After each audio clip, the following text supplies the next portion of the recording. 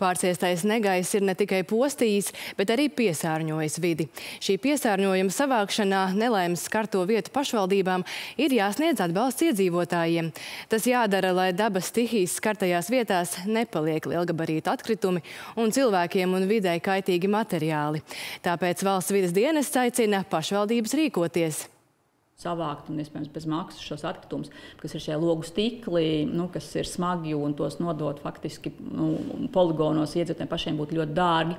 Un viss satraucošākais ir šīferis, kā mēs dzirdam, ka ir daudz jumti jāmaina, tie ir ļoti daudz šīferu jumti, vecais trauslais šīfers. Šo, šobrīd varētu atgādināt, ka šīfers, tieši šīferā putekļi ir bīstama uh, viela.